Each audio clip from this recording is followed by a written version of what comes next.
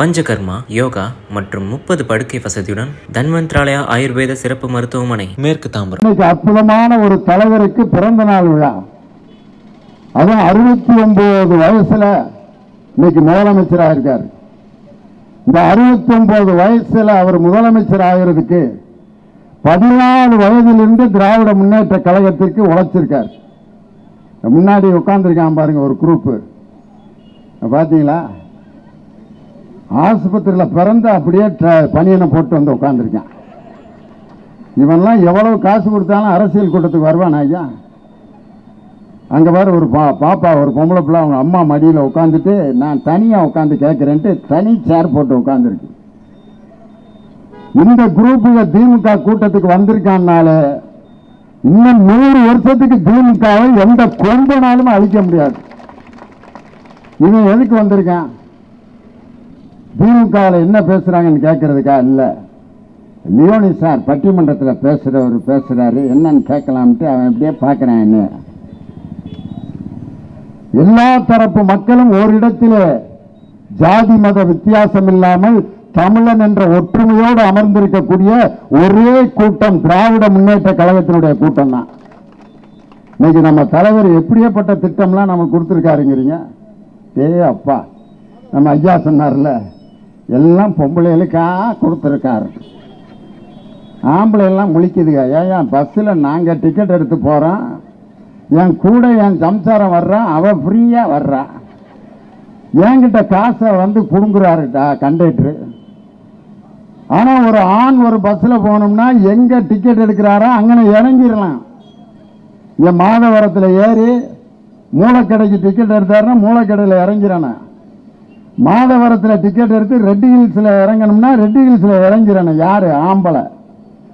ஆனால் ஒரு பெண் ஒரு டவுன் பஸ்ஸில் போனால் கண்டக்டர் கேட்பார் நீங்கள் எங்கே போன? நாங்கள் எங்கே வேணாலும் இறங்குவோம். எங்களை இறங்குற இடத்துல இறக்கி விடும் எங்கேயாவது ஒரு இடத்துல ஒரு துணிக்கடையை எய்ம் பண்ணி அந்த அம்மா வந்திருக்கான். அந்த துணிக்கடையை பார்த்துட்டு இதில் வேணாம் அந்த ஊரில் போய் எடுத்துக்கிறவன் ஓட்டியா? இங்கே நீ இறங்குறேன்னு சொன்னல. டிக்கெட் எடுத்தா தானே நாங்கள் எங்கே இறங்கணும் நாங்கள் எங்கே வேணாலும் இறங்குவோம். இப்படி ஒரு சுதந்திரத்தை இந்தியாவிலே கொடுத்த ஒரு தலைவர் நம் தமிழக முதல்வர்.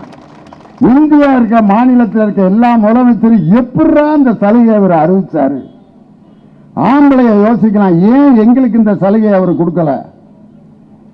ஆம்பளைய எப்படி வேணாலும் போய் இறங்கிடலாம் ஒரு இடத்துல. இந்த இந்த பார்சல் வண்டி போகுது. அண்ணே இந்தாங்க நான் மூலக்கடையில் இறக்கி விட்டுருனேன். அப்படின்னு போய் இறங்கிடலாம். இந்த பைக்கில் ஒருத்தர் போகிறாரு தம்பி தம்பி தம்பி அவசரம் போனேன். இந்த ரெட்டி ஹில்ஸில் இறக்கி விட்டு அப்படின்னு போய் இறங்கிடலாம். ஒரு ஒம்பது மணி பத்து மணி ராத்திரி கூட போய் யார் வண்டியில் வேணாலும் ஆம்பளை ஏறலாம் இறங்கலாம். ஆனால் என்னுடைய சகோதரி அப்படி ஒருத்தனை நம்பி டூ வீலரில் பின்னால் உட்காந்து போக முடியுமா?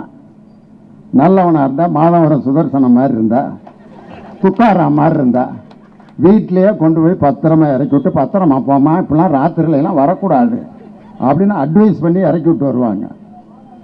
யாராவது பொள்ளாச்சிக்காரங்க நாகாரி பேல ஒரு நாலு பேர்?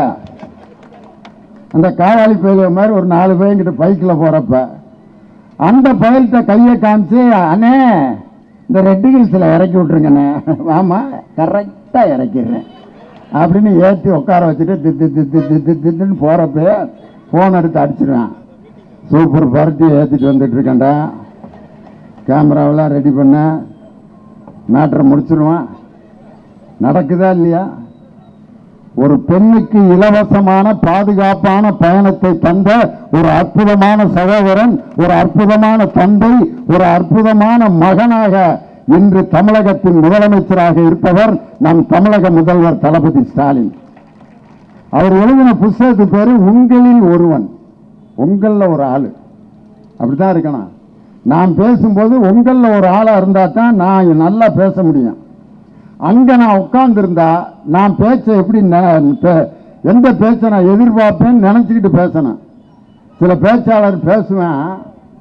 அவனுக்கும் புரியாது கேட்கிறவனுக்கும் புரியாது. பேசிக்கிட்டே இருப்பான் முக்கால் மணி நேரம். பேசுறது எப்படி இருக்கணும்னா கேட்பார் பிணிக்கும் தகையவாய் கேளாரும் வேட்ப மொழிவதாம் சொல்லுன்னு. கேட்க கேட்க ஆசையா இருக்கணும் அந்த பேச்சு. அந்த மாதிரி உலக தமிழர்களிடம் பேசிய ஒரு அற்புதமான தலைவர் ஒரு வரியில கோடிக்கணக்கான ரசிகர்களுடைய கைகட்டை பெற்ற ஒரு தலைவர் யாருன்னா என் உயிரினும் மேலான அன்பு உடன்பிறப்புகளே இந்த குரல் எந்த தலைவனுக்காவது கிடைக்குமாயா உலகத்தில் அமெரிக்க அதிபராக கூட இருக்கலாம். அவர் பேசுகிற பேச்சுக்கு இது மாதிரி யாராவது கை தட்டுவாங்களா? And great my dear friends and ladies and gentlemen I am the president of America. அப்படின்னு எல்லாம் தெரியா பாபா? பேசியா அப்படின்னு தான் உட்கார்ந்துருப்பாங்க. ஆனால் ஒரு தலைவன் முதல் வரியை ஆரம்பிக்கும் பொழுதே கோடிக்கணக்கான பேர் மெய்சிலிர்த்து கைகட்டிய குரல் என் கழக தலைவர் முத்தமிழறிஞர் டாக்டர் கலைஞருடைய குரல். அந்த கலைஞருடைய குரலை வாங்கிறதுக்கு இப்போ நம்முடைய தமிழக முதல்வர் பதினாலு வயசில் நாடகம் போட்டிருக்காரு முரசே முழங்குன்னு. அந்த நாடகத்தை தமிழ்நாடு முழுவதும் போய் நடிச்சிருக்காரு. அதில் அவர் என்ன கேரக்டர் நடித்தார்னா கலைஞருடைய கேரக்டர் நடிச்சிருக்காரு. அவருடைய மனைவியாக நடித்தது குட்டி பத்மினி. இப்போ த- சீரியலில் நடிக்கிறாங்கல்ல அவங்க. இது மாதிரி ஒரு டீம் தமிழ்நாடு முழுவதும் போய் நாடகம் போட்டு இந்த திராவிட முன்னேற்ற கழகத்தினுடைய கொள்கைகளை மாணவ பருவத்திலே நாடகம் போட்டு திமுகவை வளர்த்த தலைவர் இன்னைக்கு தமிழக முதல்வர். அதை விட என் தலைவருடைய உங்களில் ஒருவன் என்ன தலைப்பு பார்த்தீங்களா? அதில் ஒரு விஷயம் எழுதியிருக்காரு. அவரும் அவங்க ஃப்ரெண்டு பள்ளிக்கூடத்தில் படிக்கிறப்ப ஸ்கூல் மாணவர்கள் பள்ளி மாணவர்கள். ரெண்டு பேரும் பள்ளிக்கூடத்துக்கு போகிறப்ப சைக்கிளில் டபுள்ஸ் போயிருக்காங்க. ஒரு ஹெர்குலஸ் சைக்கிள் வச்சுருந்துருக்காரு. அந்த சைக்கிளில் டபுள்ஸ் போகிறாங்க ரெண்டு பேரும். கூட போனது யாருன்னா டிபி கஜேந்திரன் ஒரு நடிகர். அவர் இறந்துட்டார். அவர் தளபதியோட கிளாஸ்மேட்டு அவரை பின்னால் உட்கார வச்சு சைக்கிள் ஓட்டிட்டு போகிறார் யார்? நம்ம ஆள். நம்ம தலைவர். ஸ்டூடெண்ட்டாக இருக்கப்ப. அப்போ எல்லாம் டபுள்ஸ் போனால் போலீஸ் பிடிச்சிருவாங்க. ஒரு போலீஸ்காரன் நிப்பாட்டி நினைங்கடா விடுறா. இறங்குடா. என்னடா டபுள்ஸு ஆமாங்கய்யா. என்னடா நோமா? போடா ஸ்டேஷனுக்கு ரெண்டு பேரும் போகிறாங்க யார்? ஸ்டாலின் டிபி கஜேந்திரன். ரெண்டு பேரும் ஸ்டேஷனில் போய் இப்படியே டவுசரை போட்டு நின்றுட்டு இருக்காங்க. ஏட்டையா வந்து கேட்குறாரு உன் பேர் என்ன? ஸ்டாலின்ங்க. கொப்பா பேர் என்ன? கருணாநிதி. எந்த ஏரியா? கோபாலபுரம். கொப்பா எங்கே வேலை பார்க்குறாரு? செக்ரட்டரியேட்டில் வேலை பார்க்குறாரு. எந்த டிபார்ட்மெண்ட்டு பொதுப்பணித்துறை. என்னவா இருக்காரு? அமைச்சராக இருக்கார். பொதுப்பணித்துறை அமைச்சர் கலைஞர் மகனா ஏன்னா முதலே சொல்ல வேண்டியதான என் தந்தையின் பெயரை சொல்லி நான் தண்டனையில் இருந்து தப்பிக்க விரும்பவில்லை. எனக்கு என்ன தண்டனை கொடுக்கணுமோ அதை கொடுங்க என்று சொல்லி மாணவ பருவத்திலே சட்டத்தை மதித்த தலைவர் நம் கழக தலைவர் தளபதி. அப்படிப்பட்ட ஒரு அற்புதமான தலைவர் உலகத்தில் எங்கேயாவது கிடப்பாங்களா? இந்த கொரோனா காலத்தில் நடந்த கூத்து எடப்பாடி பழனிசாமி அண்ட் கம்பெனி டேய் அப்பா. கொரோனா பயங்கரமாக அலை அடித்து வே- வந்துக்கிட்டு இருக்கிற சமயத்தில் கல்யாணத்துக்கு ஐம்பது பேர் நூறு பேர் தான் போகணும்ட்டாங்க. போலீஸ்காரரு கல்யாண மண்டபம் வாசல் நின்று எண்ணி விடுறாரு. ஒன்று ரெண்டு மூணு நாலு அறுபது. முடிஞ்சு. இனி யாரும் போகக்கூடாதுன்னு கதவை அடைச்சிட்டாரு. உள்ளேருந்து நிறைய பேர் ஓடியாந்து பொண்ணு மாப்பிள்ளை வெளியே இருக்காங்கய்யா. ஏன் அறுபது பேரை உள்ளே விட்டுவிட்டு பொண்ணு மாப்பிள்ளைய வெளியே விட்டுவிட்டு நாங்கள் கல்யாணம் பண்ணிட்டு நாங்கள் ஏற்கனவே முடிச்சுட்டோம்டா கல்யாணம். அப்புறம் தான் பொண்ணு மாப்பிள்ளைய உள்ளே கூப்பிட்டுருக்காங்க. ஒரு அறுபது பேர் தான் கல்யாணத்தில் கலந்துக்கணும். ஐம்பது பேர் தான் ஒரு மரணத்தில் கலந்துக்கணும்னா சட்டம் போட்டு கிட்டத்தட்ட க- ஆயிரக்கணக்கான பேரை கொன்று குவித்தது அதிமுக அரசு. ஆனால் என் தலைவர் பதவிக்கு வரும் பொழுது அதே கொரோனா அலையை எப்படி ஜெயித்து காண்பித்தார் என்றால் தூங்காமை துணிவுடைமை அஞ்சாமை இம்மூன்றும் நீங்காது நிலநாள்பவர்க்கு என்று வள்ளுவர் சொன்னதைப் போல தூங்காமல் இருந்து துணிச்சலோடு இருந்து அஞ்சாமல் இருந்து கொரோனா வார்டுக்குள்ள அந்த நோயாளிகளுக்கு நடுவில் அந்த ட்ரெஸ்ஸை மாட்டிக்கிட்டு கொரோனா நோயாளிகளை போய் நேரடியாக சந்திச்சார். எனக்கு வந்தாலும் பரவாயில்ல அந்த நோயாளிகளை நான் நேரில் பார்க்கிறேன் அதான் உங்களில் ஒருவன். எடப்பாடி பழனிசாமி பதிமூணு பேரை தூத்துக்குடியில் சுட்டிருக்காங்க. இங்கே உட்காந்து டிவியில் பார்த்துட்டு டிவியில் பார்த்த பிறகு தான் எனக்கே தெரியும். மனுஷனாயா நீ? ஒரு முதலமைச்சர் பதிமூணு பேரை சுட்டு கொன்றது டிவியில பார்த்த பிறகுதான் தெரியும்னு. இன்னைக்கு ஓ பன்னீர்செல்வத்தை விசாரிச்சுக்கிட்டு இருக்காங்க. அவரு அந்த அம்மாவுக்கு என்ன சிகிச்சை நடந்துச்சுன்னு எனக்கு தெரியவே தெரியாதுன்ட்டார் ஏயா நீங்கள் தானே ஏன் முதலமைச்சராக இருந்தீங்க? அவங்களுக்கு என்ன மாத்திரை கொடுத்தாங்கன்னு எனக்கு தெரியாது. அவங்க கடைசியாக என்னை பார்த்துட்டு தைரியமாக இருன்னு சொன்னாங்க அப்போ நான் அழுதேன். ஆறுமுகசாமி தலையை பிச்சுட்டு உட்காந்துருக்காரு முதலமைச்சருக்கே தெரியாமல் அந்த அம்மா எப்படி செத்தாங்க? இன்னைக்கு அந்த அம்மா எப்படி செத்தாங்கன்றதே அந்த த- கட்சிக்காரங்களுக்கு தெரியல. இன்னைக்கு அதிமுக காரங்க நின்று கேட்டுக்கிட்டு இருப்பீங்க. உங்கள் தலைவி எப்படி செத்தாங்கன்றதே தெரியலையே ஐயா. நம்ம ஊரில் எங்கேயாவது ச- யாராவது இறந்துட்டா டெத்துக்கு போவாங்க பார்த்துருக்கீங்களா? போய் என்ன பண்ணுவாங்க தெரியுமா? அந்த டெத்து காரர் இப்படி வாசலில் நிற்பாரு அவர் கையை பிடிப்பான். மாமா எப்போ இறந்தார் மாமா? மாமா காலையில் ஒம்பது மணிக்கு இறந்தார். அப்படியா? ஒன்பது மணிக்கா? ஏன் எட்டு மணிக்கு நான் எழுப்பி விட்டுருவியா அவரை? இந்த மணியை தெரிஞ்சு என்ன செய்ய போகிற அவர் எத்தனை மணிக்கு செத்தாருன்னு தெரிஞ்சு ஏதாவது ஆக போகுதா? இருந்தாலும் கேட்பேன் ஒன்பது மணிக்கா? எப்படி செத்தாரு? எப்படி செத்தாருன்னு அவன் நடிச்சா காட்ட முடியும். இருந்தாலும் அந்த கூறுகிட்ட அவன் சொல்லுவான் ஒம்பது மணிக்குப்பா நெஞ்சு வலிக்குதுன்னு சொன்னாரா? நான் அப்படியே இங்கிட்டு அப்புறம் பக்கத்தில் பாரிஸுக்கிட்ட ஒரு டாக்டர் நல்ல டாக்டர் இருக்காருன்ட்டு அங்கே கூட்டிகிட்டு போனேன். போகிற வழியிலே அதுக்கு நான் வந்தவன் சொல்கிறேன் மாதவரத்தில் தான் அவருக்கு சுகம் இல்லாமல் போச்சு. எதுக்கு பிராட்வே வரைக்கும் அந்த ஆளை ஓட்டிகிட்டு போனேன்? மாதவரத்தில் நல்ல டாக்டர் இருக்காருல்ல. அவர்கிட்ட காமிச்சிருக்கலாம்ல?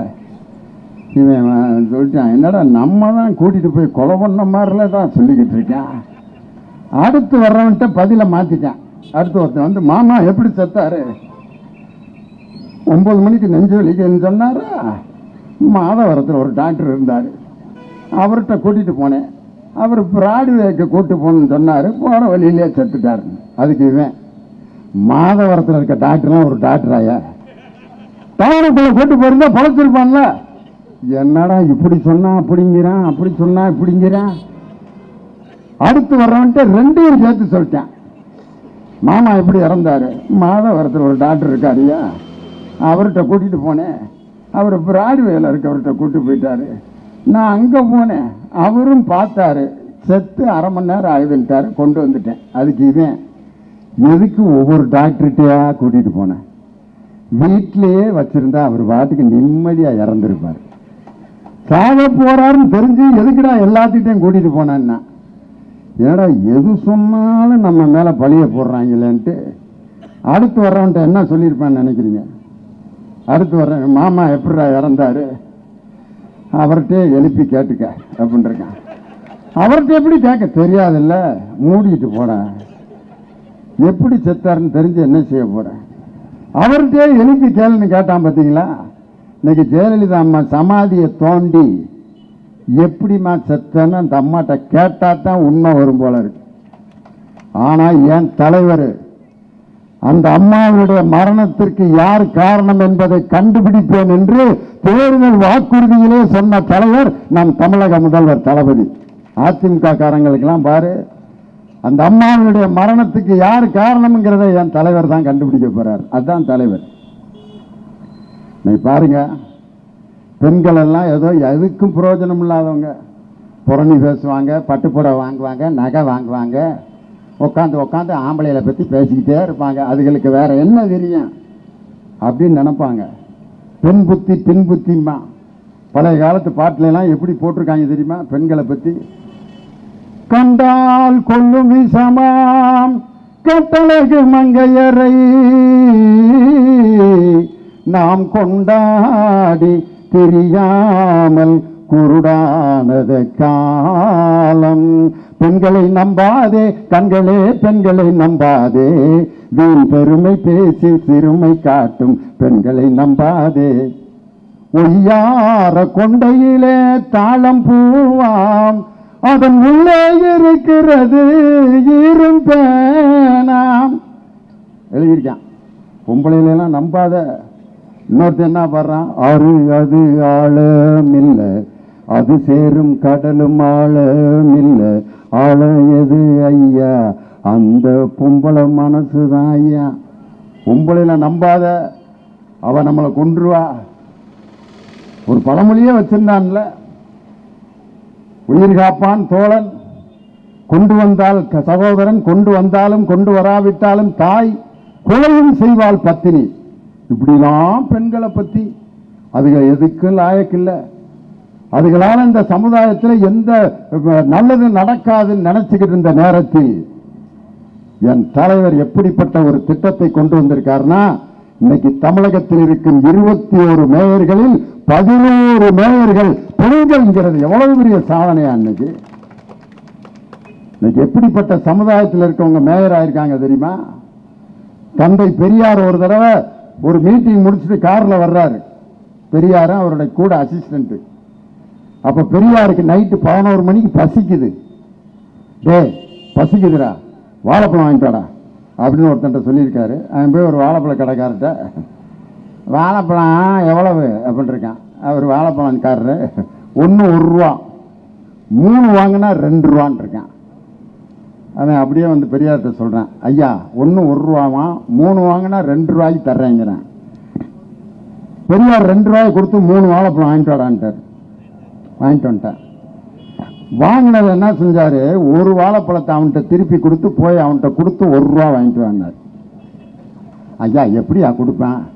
ஏ அவன் சொன்ன வியாபாரம் அதானடா. வாழைப்பழம் ஒன்று ஒரு ரூபான்னு சொல்லிட்டான்டா. ஏன் பிஸ்னஸ் முடிஞ்சிருச்சு. மூணு வாழைப்பழம் ரெண்டு ரூபாய்க்கு வாங்கிட்டேன். ஒன்று கொடுத்து ஒரு ரூபா வாங்கிட்டு வாங்க இவன் போயிட்டான் கடைக்கு. எங்கள் ஐயா இந்த ஒரு வாழைப்பழத்தை கொடுத்துட்டு ஒரு ரூபா வாங்கிட்டு சொன்னார். கடைக்காரன் யோசிச்சிருக்கான். யாரோ ஒரு நுட்பமான ஒரு ஆள் தான் இந்த ஐடியாவை பண்ணியிருக்கணும். சிந்தனை உள்ள ஒரு ஆள் தான் இந்த வே- வேலையை செஞ்சுருக்கணும். யாரா வண்டியில் இருக்குதுன்னு கேட்டிருக்கான். தந்தை பெரியார் காரில் உட்காந்துருக்காருன்னு சொன்ன உடனே அந்த வாழைப்பழ கடைக்காரன் அந்த சர்பத்து பெட்டிய ஹை ஜம்ப் மாதிரி தாண்டி பதறி ஓடி வந்து கார் கதவை திறந்து பெரியாருடைய காலில் விழுந்து கதறி என்ன சொன்னான் தெரியுமா? ஐயா நாங்கெல்லாம் எப்படிப்பட்ட சமூகத்தில் பிறந்தவங்க தெரியுமா? எங்க சட்டையை கலட்டி இந்த அல்லையில வச்சுக்கிட்டு ரோட்ல நடந்து போவோம்யா செருப்பு போடுறதுக்கு எங்களுக்கு உரிமை இல்லை. செருப்பை தூக்கி தலையில வச்சுக்கிட்டு நடப்போம். பொது கிணத்துல நாங்கள் தண்ணி எடுத்து குடிக்க முடியாதியா? சவுக்கில் அடிப்பாங்க. அப்படி கூனி குறுகி வாழ்ந்த சமுதாயம் நான் இன்னைக்கு நான் இந்த பஸ் ஸ்டாண்ட்ல கம்பீரமா கடை வச்சிருக்கிறதுக்கு காரணமே எங்க ஐயா பெரியாருடைய அந்த பேச்சும் தன்மானமும் சுயமரியாதை இந்த ஐயா. ஐயா நீங்க எல்லாட்டி நான் இந்த நிலைமைக்கு வந்திருக்க மாட்டேன். என் தெய்வமே ஐயா ஐயா அப்படின்னு கத்திருக்கான். இந்த வாழை தார நீங்க எடுத்துக்கங்கய்யா. ரெண்டு நாளைக்கு வாழைப்பழம் சாப்பிடுங்கயான் இருக்கான் சட்டை போடுறதுக்கு உரிமை இல்லாம அல்லையில சட்டையை வச்சுக்கிட்டு தலையில செருப்பை தூக்கிட்டு ஒரு தெருவுக்குள் நடக்க முடியாமல் இருந்த ஒரு சமூகத்தைச் சேர்ந்த ஒரு பெண்ணை சென்னை மேயராக்கி தாம்பரத்தின் மேயராக்கி ஆவனுடைய மேயராக்கி இன்னைக்கு சமுதாயமே அந்த பெண்ணை பார்த்து வணக்கத்திற்குரிய மேயர் அவர்களே என்று சொல்ல வைத்த ஆட்சி திமுகவுடைய ஆட்சி. இதுக்கு மேலேயா பெண்களுக்கு ஒரு விடுதலை கொடுக்கணும்? இன்னைக்கு எல்லாரும் என்ன சொல்றாங்க? தாவிக்கு தங்கம் என்ற அந்த திட்டத்தை முதலமைச்சர் நிறுத்தி விட்டார். தாலிக்கு தங்கம் அவர்கள் கொடுத்துக்கிட்டு இருந்தார்களாம் அதை நம்ம தலைவர் நிறுத்தி விட்டாராம். இவங்க எப்படி கொடுத்தாங்கன்ற லிஸ்ட்டை பூரா நம்ம நிதியமைச்சர் இன்னைக்கு வாசிட்டார். ரெண்டாயிரத்தி பதினாறுல இருந்து தாலிக்கு தங்கம் எத்தனை பேர் அப்ளிகேஷன் போட்டாங்க எத்தனை பேருக்கு கொடுத்துருக்காங்க அதில் எத்தனை பேர் உண்மையிலேயே தாலிக்கு தங்கம் வாங்குற அளவுக்கு வறுமையில் உள்ளவங்கிற லிஸ்ட்டை பூரா எடுத்து பார்த்ததுல பெரிய பெரிய லட்சாதிபதியோட பிள்ளையெல்லாம் தாலிக்கு தங்கம் வாங்கியிருக்கான் அனுஜி வீட்டுக்கு சொந்தக்காரன் மகளுக்கு தாலிக்கு தங்கம் வாங்கியிருக்காங்க. அம்புட்டு கணக்கெடுத்தையும் பார்த்துட்டு என் தலைவர் சிந்திச்சாரியா? தாலிக்கு தங்கம்னு கொடுக்கறது அந்த கல்யாணத்தோட முடிஞ்சிடும் ஒரு பொம்பளை பிள்ளை படிக்கிறது தான் இந்த சமுதாயத்தில் மிகப்பெரிய சாதனைன்னு சொல்லி தாலிக்கு தங்கம்ங்கிற திட்டத்தை அதுக்கப்புறம் நம்ம லிஸ்ட் எடுத்து கொடுத்துக்கலாம். இன்னைக்கு பள்ளிக்கூடத்தில் ஆறாவதுல இருந்து பன்னெண்டாம் வரைக்கும் அரசு பள்ளியில் படித்த மாணவிகள் உயர்கல்விக்கு போயிட்டாங்கன்னா மாதம் ஆயிரம் ரூபாய் அவர்களுக்கு உதவித்தொகை கொடுத்து கல்விக்கு முக்கியத்துவம் கொடுத்த தலைவர் இல்லையா? படிப்பு எவ்வளவு முக்கியம்? எழுத்தறிவு படிப்பறிவு இல்லாமல் இன்னைக்கும் பாருங்க பஸ் ஸ்டாண்ட்ல இருக்க கட்டண கழிப்பறைகளில் ஆண் பெண்ணுன்னு எழுதி போட்டு ஆண் அப்படின்னு போட்டு மீச வச்ச ஒரு ஆம்பளை படம் போட்டிருக்கான்ல. படம். பெண் பொட்டு வச்சு பூ வச்சு ஒரு அம்மா. எதுக்கு படம் போடுறேன்? ஆண் பெண்ணுன்னு வாசிக்க தெரியாது. ஆண் பெண்ணுன்னு வாசிக்க தெரியாதவங்க இன்னும் கிராமத்தில் இருக்கிறதுனால தான் ஆண்கிற இடத்துல ஆம்பளை படமும் பெண்ணுங்கிற இடத்துல பொம்பளை படத்தையும் பெருசாக வரைஞ்சி வைக்க வேண்டியிருக்கு. ஒரு ஊரில் என்ன பண்ணிவிட்டாங்க? ஆம்பளை படத்தில் இருக்க மீசையெல்லாம் சுரண்டி விட்டு விடுகிறதுக்குள்ளே பொட்டு வச்சு பூ வச்சு விட்டான். எதில்? ரெண்டு பக்கமும் பொம்பளை படம். பொம்பளை வந்திருக்குதுங்க ஒரு பத்து பேர் பஸ்ஸை விட்டு இறங்கி. ஏக்கா வாக்கா பாத்ரூம் போயிட்டு வந்துடலாம் அப்படின்னு பார்த்தா ரெண்டு பக்கம் பொம்பளை படம். என்னக்கா ரெண்டு பக்கம் பொம்பளை படம் போட்டிருக்கானுங்க. எதில் போகிறதுன்னு தெரியலையே. ஒத்தையா ரெட்டையா பிடிப்போமா? ஒன்று ரெண்டு மூணு நாலு அஞ்சு. இதில் போக்கா அப்படின்னு சுரண்டி விட்ட இதுக்குள்ளே போனால் அஞ்சு ஆம்பளைய தம்மை போட்டு உள்ள நின்று பார்த்து ஐயோ ஆம்பளைய ஐயோ அம்மா ஐயோ அப்பா அப்படின்னு கத்தி பெரிய கலகமாகி போலீஸ் கேஸ் ஆகி ஒரு ஆண் பெண் என்பதை வாசிக்க தெரியாமல் எவ்வளோ பெரிய சமாச்சாரம் நடந்துச்சு? அதே மாதிரி ஒரு அம்மா அட்ரஸ் காகிதம் யாரோ வீட்டு அட்ரஸை எழுதி கொடுத்துருக்காங்க. அந்த அட்ரஸ் காயத்தை வச்சுக்கிட்டு ஒவ்வொருத்தட்டையாக கேட்குது இந்த அட்ரஸ் எங்கப்பா? ஐயா இதை கொஞ்சம் வாசிச்சு அந்த வீட்டை கொஞ்சம் காட்டுங்க. வாசிட்டு இது என்ன எழுத்தா? கம்பளி பூச்சி மாதிரி எழுதி வச்சுருக்கேன். இந்த எழுத்தெல்லாம் எனக்கு புரியாது. அந்த மெடிக்கல் ஸ்டோர் வச்சிருக்காருல்ல அவர்கிட்ட கொடு அவர் எவ்வளவு கிறுக்கலத்தையும் கண்டுபிடிச்சு மருந்து கொடுப்பாரு. அந்த ஆள்கிட்ட கொடு வாஸ்து உன் வீட்டு அட்ரஸை கொடுத்துருவாரு. அவன் நேராக மெடிக்கல் ஸ்டோர்கார்ட்ட கொண்டு வந்து அந்த கிளவி கொடுத்துருக்கு. அவன் வாங்கி பேப்பரை உள்ளே போட்டு மூணு மாத்திரை எடுத்து கையில் கொடுத்துருக்கான். ஐயா அட்ரஸ் தேடி வந்தவனுக்கு எதுக்குடா மாத்திரையை கொண்டு நீ மாத்திரைன்னா நினச்சேன் எது எழுதியிருக்கேன்னு எனக்கு புரியலன்னு. எழுத படிக்க தெரியாமல் ஒரு பெண் இருந்தால் எவ்வளவு கஷ்டம். எவ்வளவு மூட நம்பிக்கைகளுக்கு இன்னைக்கு ஆளாயிருக்காங்க பெண்கள். நீங்கள் ஒரு வீட்டில் பிரச்சனை உண்டு பண்ணணும்னா வேற ஒன்றும் செய்ய வேணாம். ஒரு எலும்பு சம்பளத்தை அந்த வீட்டுக்குள்ள அறுத்து குங்குமத்தை தடவி உருட்டி விட்டுருங்க. அவ்வளோதான் அந்த வீட்டில் நிம்மதி போச்சு. எது நடந்தாலும் எலும்பு சம்பளம் தான் காரணம்ன்றான் அவன் மனைவி இங்கே வாடி என்னயா? என்ன? வாடி. எழுத்து பேசுகிறான் எலும்பு சம்பளத்தை வச்சுட்டாங்களா? அதனால தான் எழுத்து பேசுகிறேன் மகன் ஏழு மணி வரைக்கும் வரல. இந்த மகன் எலுமிச்சம்பளம் மகன் லேட்டாக வர்றதுக்கு எலுமிச்சம்பழம் காரணம் மனைவி எழுத்து பேசுறதுக்கு எலும் எலுமிச்சம்பழமா காரணம்? எலுமிச்சம்பளம் வந்து ஒரு மனிதனுடைய குணத்தை மாற்ற முடியுமாயா இன்னைக்கு அப்படி ஒரு நம்பிக்கை இருக்கு.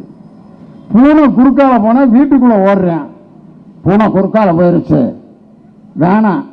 போனால் போற காரியம் விளங்காதுங்கிறான் பூனை என்ன நினைக்குதுன்னா இவன் முறையில் நம்ம முழிச்சிட்டு போறோமே நம்ம எந்த பஸ்ஸில் அடி விட்டு சாக போறோமோன்னு ஒரு பூனை குறுக்கால போனா இன்னும் வீட்டுக்குள்ள ஓடுற ஆள் இருக்கான். திருஷ்டி பொம்மை வைக்கிறான். வக்கீலில் ஒரு பொம்மையை செஞ்சு கட்டடத்துல தொங்க விடுறேன். ஏன்னா திருஷ்டி இன்னைக்கு சாம கோடாங்கி வந்து கத்திட்டு இருக்காங்களே எங்க ஏரியாவில் திண்டுக்கல்ல. நல்ல காலம் பறக்குது நல்ல காலம் பறக்குது நல்ல காலம் பறக்குது. முதலாளி நீ வந்துட்டாரு. முதலாளி முதலாளி முதலாளி முதலாளி. கோடிக்கணக்கில் குவிய போகுது கோடிக்கணக்கில் குவிய போகுது நல்ல காலம் பறக்குது நல்ல காலம் பறக்குது நல்ல காலம் பறக்குதுனாரு நேரம் அந்தால நாய் கடிச்சு பிடிச்சி. யார? கடிச்சு தொப்புல சுற்றி ஊசி போட்டு படுத்திருக்கான். யாரு? சாம கோடாங்கி. அவன் எனக்கு நல்ல காலம் பிறக்குதுன்னு சொல்லிட்டு அவனுக்கு கெட்ட காலம் ஆகிப்போச்சு இன்னைக்கு எதெல்லாம் நம்பிக்கிட்டு இன்னைக்கு நம்ம வாழ்க்கையை இன்னைக்கு தொலைச்சுக்கிட்டு இருக்கான். இதெல்லாம் ஏன் நடக்குதுன்னா பெண்களுக்கு கல்வி வேண்டும் என்பதை நான் சொல்லல. பாரதியார் பாரதிதாசன் எல்லாம் பெண்களுக்கு கல்வி படித்தால் தான் அந்த பெண்கள் வாழ்க்கையில் உயர முடியும் என்ற அந்த கனவை நனவாக்கிய தலைவர் நம் தமிழக முதல்வர் தலைவர். அதெல்லாம் இன்னைக்கு மேடையில் இப்போ பேசிட்டு இருக்கேன்னா நான் சின்ன பையனாக இருக்கப்ப பெரிய பள்ளிக்கூடத்துலலாம் நான் படிக்கல. சாதாரண பள்ளிக்கூடத்தில் தான் படித்தேன் Saint Paul's Middle School seventh standard அப்போ திண்டுக்கல் மாவட்டம் முழுவதுக்கும் ஒரு பேச்சு போட்டி நடத்தினாங்க. அந்த பேச்சு போட்டியில் பேசுகிறதுக்கு எங்கள் அம்மா என்னை அனுப்பி வைக்கிறாங்க. அம்மா பேச்சு போட்டி. போயிட்டு வாடா ராஜா. அப்படின்ட்டு எங்கள் அம்மா நடுக்கோடு எடுத்து சீவி விட்டு பவுட்ரு சந்தையில் வாங்கின பவுடர் எடுத்து மைதா மாவு மாதிரி வெள்ளை வெளியேறுன்னு அப்பி மகன் பிரைஸ் வாங்க போகிறான் பேச்சு போட்டியிலன்னு அனுப்பி வச்சு தாமே நல்லா பேசிட்டு வரேண்ணா என்ன? அப்படின்னு முத்தம் கொடுத்து அனுப்பி வைக்கிறாங்க எங்கள் அம்மா. நான் பேச்சு போட்டியில் போய் உட்காந்துருக்கேன் எனக்கு கூட பேசுகிறதுக்கு ஒருத்தன் வர்றான். பெரிய பணக்கார பள்ளிக்கூடத்துலேருந்து matriculation higher secondary school central board of English school அங்கேருந்து டை கட்டி ஷூ போட்டு அப்படி ஒருத்தன் காரில் வந்து இறங்குறான். பேச்சு போட்டில் கலந்துக்க. அவனுக்கு ஹார்லிக்ஸ் மொண்டு கொடுக்க ஒருத்தன் சுடுதண்ணி மொண்டு கொடுக்க ஒருத்தன் கூட வேலைக்காரங்க வர்றாங்க. அவன் பேச்சு போட்டில் பேசுனான். ஹார்லிக்ஸை குடிச்சிட்டு நல்ல நெய்யில் சோத்தை தின்ட்டு வந்து அடிக்கிறான் பேச்சு போட்டில் பாரதியாரை பற்றி தலைப்பு. நெஞ்சு பொறுக்கவில்லையே இந்த நிலை கட்ட மனிதரை நினைத்து விட்டார். அஞ்சு அஞ்சு சாவார் இவர் அஞ்சாத பொருள் இல்லை அவனியிலே என்று முழங்கினான் பாரதி. அப்படின்னு அவன் பேசிட்டு இருக்கான். நான் இப்படியே உட்காந்து பார்த்தேன். இவன் கூட பேசி நம்ம பிரைஸ் வாங்குறத ஓடிடலாம்டான்னு கூட வந்த பயலோட கிளம்ப போனேன் என் பேரை கூப்பிட்டாங்க. லியோனி ஏழாம் வகுப்பு பி பிரிவு. ஐயோ கூப்பிட்டாங்களே. இதே மாதிரி ஒரு பேப்பர் பாக்கெட்டில் வாத்தியார் எழுதி கொடுத்தது இருந்துச்சு. நான் பேச்சு போட்டி ஆரம்பித்தேன் எப்படி ஆரம்பித்தேன் தெரியுமா? அன்பார்ந்த பேச்சு போட்டி நடத்துகின்ற பெரியவர்களே நான் எடுத்துக்கொண்ட தலைப்பு என்னவென்றால் பாரதியார். அந்த பாரதியார் ஒரு பாரதியார். அவர் ஏன் பாரதியார்? அந்த பாரதியார் தான் பாரதியார். பாரதியாருங்கிற வார்த்தையை தவிர அம்புட்டு மறந்து போச்சு. பேச்சு போட்டி நடத்தின வாத்தியார் ஓங்கி மண்டல விட்டு அது பேச்சு போட்டி நட பேச வந்திருக்க ஆளு முகரையும் பாரு. கூட துரத்தி விட்டார். நான் அழுதுகிட்டே வீட்டுக்கு வர்றேன். எங்கள் அம்மா வாசலில் உட்காந்து மகன் பிரைஸ் வாங்கிட்டு வருவான்ட்டு பார்த்துக்கிட்டே இருக்காங்க. எங்கள் அம்மாட்ட பக்கத்தில் வந்தோன்னே எங்கள் அம்மா ஏன் சாமி முகமெல்லாம் ஒரு மாதிரி இருக்கு. என்ன ஆச்சு அடிச்சு விட்டு ஐயம்மா ஒரு வரி கூட பேச முடியலவா பயமாக போச்சுமா என்னன்னா எங்கள் அம்மா முத்தம் கொடுத்து சொன்ன வார்த்தை. அந்த வாத்தியார் என்னடா என் பிள்ளையோட திறமையை முடிவு பண்ணுறதுக்கு பெத்த தாய் நான் சொல்கிறேன்டா அடுத்த பேச்சு போட்டியில் நீ தாண்டா பிரைஸ் வாங்குவார்.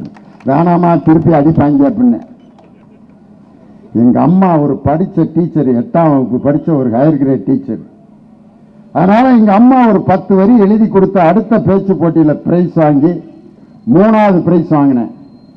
மூணாவது பரிசுக்குன்னே பள்ளிக்கூடத்தில் ஒரு பொருள் வச்சுருப்பான் பிளாஸ்டிக் சோப் டப்பா. லியோனி பேச்சு போட்டி மூன்றாம் பரிசு பிளாஸ்டிக் சோப் டப்பா. அன்னைக்கு வாங்கின பிளாஸ்டிக் சோப் டப்பா தான் இன்னைக்கு லியோனி கொள்கை பரப்பு செயலாளரா பாடநூல் கழக தலைவரா தமிழ்நாட்டில் பட்டிமன்ற நடுவரா உலக நாடுகள் முழுதும் நான் போய் பேசுறேன்னா ஏழாம் வகுப்பில் என் தாய் எழுதி கொடுத்த அந்த பத்து வரி இருக்கு பார்த்தீங்களா? என்னத்துக்காக நான் சொல்றேன்னா என் தாய் படிச்சிருந்ததுனால தான் நியோனிய ஒரு பேச்சாளரா வாத்தியாரா இன்னைக்கு மேடை கொண்டு வந்து நிறுத்தினாங்க. ஒரு பெண் படிப்பது ஒரு சமுதாயமே படிப்பதற்கு சமம். மலைவாழை அல்லவோ கல்வி அதை போய் என்று எடுத்து உண்ணுவாய் என் புதல்வி என்று பாரதிதாசன் பாடினார். அப்படிப்பட்ட திட்டங்களை பெண்கள் கல்விக்காக திட்டங்களை தந்த முதலமைச்சர் நம் தமிழக முதல்வர். என்ன எப்படிப்பட்ட திட்டம்லாம் ஏய் அப்பா மக்களை தேடி மருத்துவம். ஒருத்தருக்கு சுகம் இல்லைன்னா வீட்டில் போய் டாக்டர் வந்து பார்க்குறார். எப்படிப்பட்ட திட்டம்? யாராவது இதை செயல்படுத்த முடியுமா? யாராவது ஒருத்தருக்கு சுகம் இல்லைன்னா நம்ம போய் பார்ப்போம். எதுக்கு போய் பார்க்குறோம் ஆஸ்பத்திரியில்? ஒருத்தருக்கு சுகம் இல்லை. ஆரஞ்சு பழம் நாலு ஆரஞ்சு பழத்தையும் ஒரு சாக்கில் எது கார்லிக்ஸ் பாட்டிலையும் வாங்கிக்கிட்டு நம்ம போவோம். போய் எதுக்காக அந்த சுகம் இல்லாதவரை பார்க்கணும் அப்படின்னு சொன்னால் அந்த சுகம் இல்லாதவருக்கு நம்ம ஆறுதல் சொன்னோம்னா அவர் சீக்கிரம் வியாதியை விட்டு எந்திரிச்சு வந்துடுவார் சுகம் இல்லாதவர்கிட்ட போய் பக்கத்தில் வந்து சாமி என்னப்பா? நெஞ்சு வலி நெஞ்சு வலியா? ஒன்றும் ஆகாதியா? பயப்படாத. அப்படின்னு அவருக்கு ஆறுதல் சொல்லி அவரை தேத்தினோம்னா ஒரு பத்து பேர் இப்படி போய் பார்த்தோம்னா அவர் சுகமாயி வந்துடுவார் சில பேர் போய் என்ன செஞ்சிருவான் தெரியுமா? சோமதாதவர்கிட்ட போய் மாமா நெஞ்சு வழியா எவ்வளவு நாளா? முந்தா நாள்ல இருந்து எந்த பக்கம் வலிக்குது? இடது பக்கம். வலிக்கப்படாது ஐயா போன வாரம் எங்கள் பெரியப்பா அப்படித்தான் வலிக்குதுன்னு சொன்னார். நாலு நாளைக்கு முன்னாடி தான் இறந்தார். உனக்கு ஒன்றும் ஆகாதுன்ட்டு சொல்லிட்டு எழுப்புறான் இருந்தாலும் செத்துட்டான் ஒரு வியாதிக்காரனை நேரடியாக போய் சந்திப்பதே அவனுக்கு மிகப்பெரிய சுகத்தை தரும்.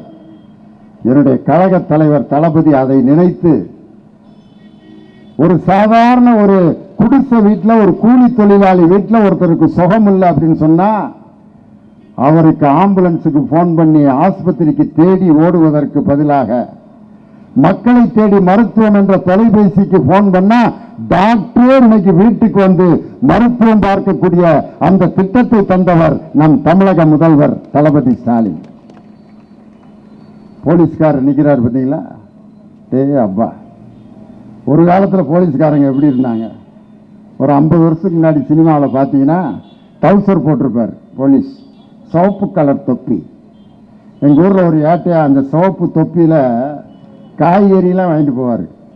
அந்த தொப்பி எடுப்பார். காக்கில் கத்திரிக்காய இன்னொரு கிராம் தக்காளியும் போடு. அப்படின்னு தொப்பியில் கத்திரிக்காய் தக்காளியை வாங்கி டபக்கு நீங்கள் நான் சொருகிக்குவார். சொருகி வீட்டில் கொண்டு போய் அவங்க வீட்டுக்கார மாட்டேன். சரி கத்திரிக்காய் தக்காளி வாங்கிட்டு வந்திருக்கேன். குழம்பு போய் ஏயா பைய எடுத்துகிட்டு போக வேணாமா? அரிசி வாங்கிட்டு வர சொன்னேன். எங்கன்னா அந்த டவுசர் பாக்கெட்டில் இங்கிட்ட ஒரு காப்பிடி இங்கிட்டு ஒரு அரைப்பிடி அரிசி. அப்படியே டவுசர் எடுத்து விடுவார். டபக்குன்னு அரிசி கொட்டும். அவர் போட்டிருக்க டவுசர் பாக்கெட்டு அரிசி பையாவும் தொப்பி காய்கறி பையாவும் பயன்படுத்தின காலம் ஒரு காலத்தில் போலீஸ்காரங்க. எங்கேயாவது முக்கியமான பெரேடுனா அந்த டவுசரை வந்து அயன் பண்ணி ஏட்டையா போட்டு வருவார். அந்த டவுசரை அயன் பண்ணால் அப்படியே கத்தி மாதிரி முன்னாடி நிற்கும் ஏட்டையா வர்றதுக்கு காமன் நேரத்துக்கு முன்னாடியே டவுசர் வந்துடும் அப்படி வருவார். ஓ, அப்படி யார் எலக்ட்ரிக் வயர்மேனு யார் ஐஸ் விற்கிறவன் யார் இப்போ இது பேங்க் வாட்ச்மேனு போலீஸ் யார் எல்லாமே டவுசர் போட்டிருக்கனால அடையாளம் தெரியாது. நாங்கள் ஐஸ்காரனையெல்லாம் பார்த்து டபுள்ஸ்லேருந்து இறங்கி ஓடி இருக்கான். கடைசிக்கு பார்த்தா அவன் ஐஸ் வண்டி தள்ளிட்டு வந்துடுறேன்.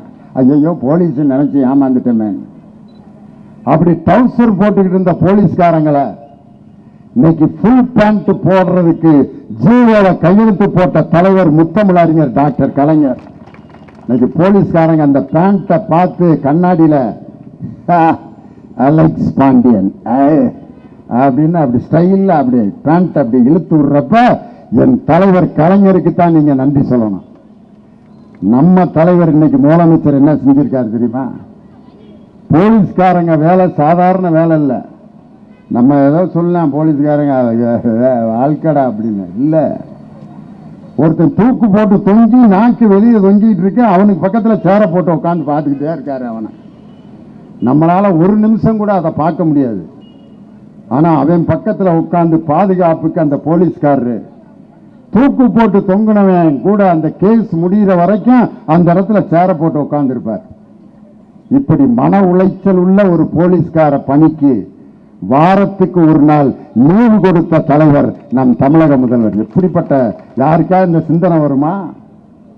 எடப்பாடி பழனிசாமி ஏர்போர்ட்ல இருந்து அவர் வீட்டுக்கு போறாருன்ட்டு வழிநடிக போல போலீஸ். அவரை யாராவது பிடிச்சிட்டு போயிடுவாங்கன்னு அதுல பாதி பேர் யாருனாக்க பெண் போலீஸை நிப்பாட்டி வச்சிருப்பார்.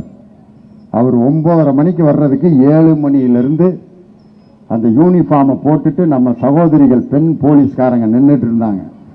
என் தலைவர் ஆட்சிக்கு வந்து அந்த காட்சியை பார்த்தார். என்னுடைய ஆட்சியில் எனக்கு பாதுகாப்பு கொடுக்க இனி பெண் காவலர்களை பயன்படுத்த வேண்டாம். ஆண் காவலர்கள் மட்டும் இருந்தா போதும். அவங்க அப்படி வந்து வெயில்ல நிக்க வேணாம்னு சொல்லி பார்த்தோன்னு இறக்கப்பட்டு அந்த பெண்களின் மீது கனிவு காட்டிய தலைவர் நம் தமிழக முதல்வர். இப்படிப்பட்ட நல்ல நல்ல திட்டங்களை எல்லாம் கொடுத்த அன்பு தலைவர் அறுபத்தி ஒன்பது ஆண்டுகளில் இன்று முதல்வராகி இருக்கக்கூடிய தலைவர் இன்னும் பல நூறு ஆண்டுகள் வாழ்ந்து இந்த தமிழகத்தில் இனிமேல் தமிழக முதல்வராக ஸ்டாலின் தான் தொடர்ந்து இருப்பார் என்று நம்ம சொல்லல இந்தியாவில் இருக்கக்கூடிய எல்லா பத்திரிகைகளும் இன்றைக்கு சொல்லிக் கொண்டிருக்கிறது. அடுத்து இரண்டாயிரத்தி இருபத்தி நாலில் வரப்போகும் பாராளுமன்ற தேர்தலில் இந்தியாவுடைய பிரதமர் யார் என்பதை தீர்மானிக்க போகிற சக்தியும் நம் தமிழக முதல்வர் தான். அவர் யாரை காட்டுறாரோ அவர்தான் பிரதமர்.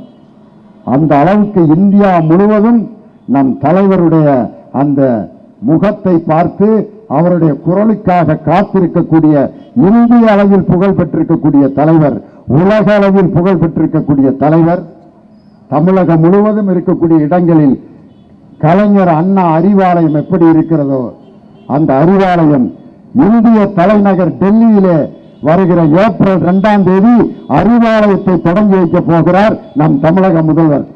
திமுக அலுவலகம் டெல்லியில. இது என்ன அறிகுறி? டெல்லியில திமுகவுக்கு ஆபீஸ் போடுறாங்கன்னா நாளைக்கு டெல்லியில் யார் ஆட்சி செய்வது என்பதை தீர்மானிக்க போவது திராவிட முன்னேற்ற கழகம். அப்படிப்பட்ட ஒரு அகில இந்திய அளவில் அனைத்து முதல்வர்களும் இவருடைய மாடல் ஆட்சியை நாம் பின்பற்ற வேண்டும் என்று எல்லோரும் இந்த திராவிட மாடல் ஆட்சியை பின்பற்றி கொண்டிருக்கிறார்கள். அந்த தலைவர் நெடுகாலம் வாழ்ந்து நூறு ஆண்டுகள் வாழ்ந்து நம்மை வழிநடத்தி இன்னும் இந்த தமிழகத்தை நல்ல காலத்தை நோக்கி அவர் அழைத்து செல்ல வேண்டும் என்று மனதார அவரை வாழ்த்தி எல்லோரும் அவருக்கு மாபெரும் கரவொலியை எழுப்பி நம் தமிழக முதல்வர் பல்லாண்டு வாழ வேண்டும் என்று வாழ்த்தி வணங்கி விடைபெறுகிறேன். நன்றி வணக்கம். நக்கீரன் டிவிக்கு சப்ஸ்கிரைப் செய்யுங்கள். உங்கள் ஆதரவே எங்கள் பலம் ஆசிரியர்களுக்கு நண்பனாகவும் மாணவர்களுக்கு ஆசானாகவும் திகழும் தேர்வு வழிகாட்டி. ஒவ்வொரு பாடத்திற்கும் அனுபவமிக்க ஆசிரியர்களின் துல்லியமான தெளிவான விடைகள். சிஎன்சி இருக்கு தேர்வு பயம் எதற்கு? இது தீரன் பப்ளிஷிங் ஹவுஸ் விற்பனை வெளியீடு.